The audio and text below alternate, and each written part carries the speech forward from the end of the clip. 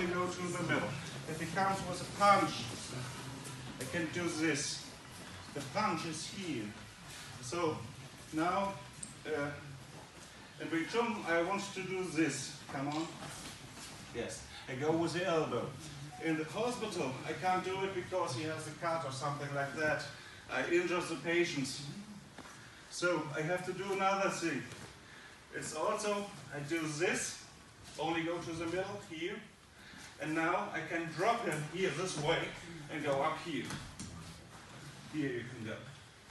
Just stand up here. So at first it's necessary.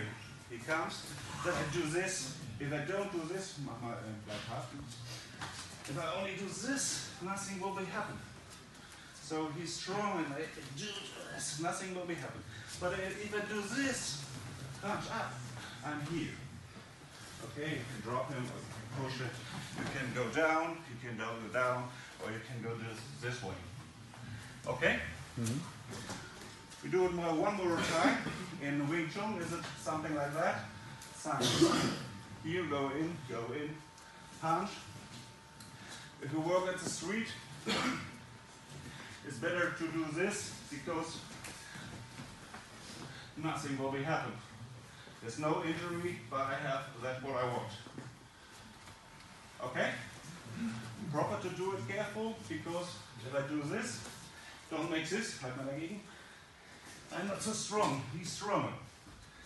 For me it's necessary to do my elbow here.